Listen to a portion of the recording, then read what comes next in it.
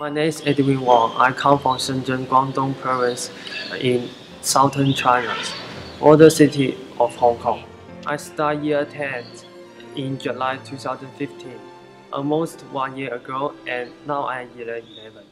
My first impression of St. John is the size of class. When I enter the classroom, the class of students is less than 30. Um, in my because in my hometown, uh, almost 50 students in one class. The most interesting thing is we using computer to do the homework. When I first came to the foreign country, I felt very scared and very nervous because I did not understand uh, the local language and I do not have a friend.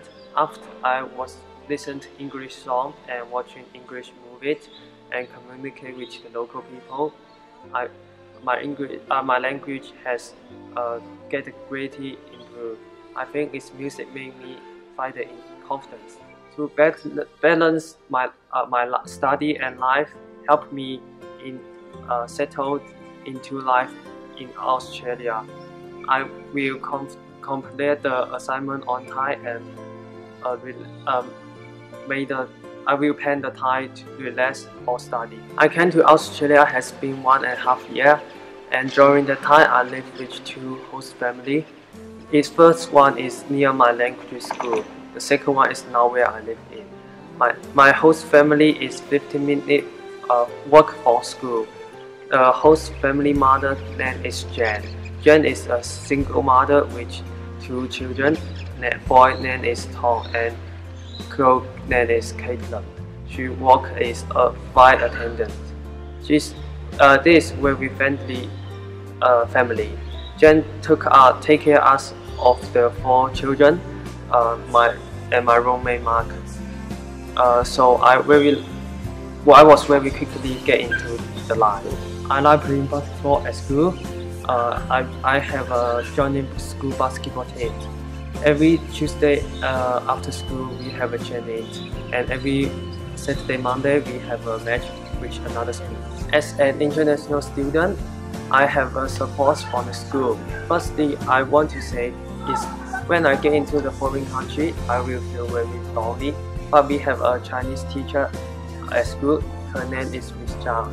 She take care uh, of us. She's a study in UK is a overseas student.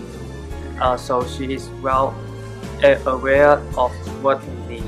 We also have a classroom PC one as for us to relax.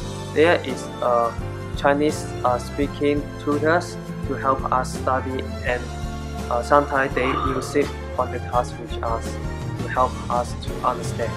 It took me nearly six months to feel settled that I bring to the communicate with the people to build more confidence. They begin to have the uh, courage uh, communicate with the uh, teacher and friends uh, my so that made my English get improved and uh, um, co communicate to with people and that moment I think there is success.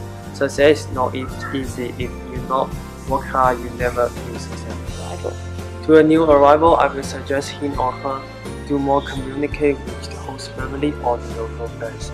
So not only can improve the courage to communicate with people, but also can improve the exchange of spoken English.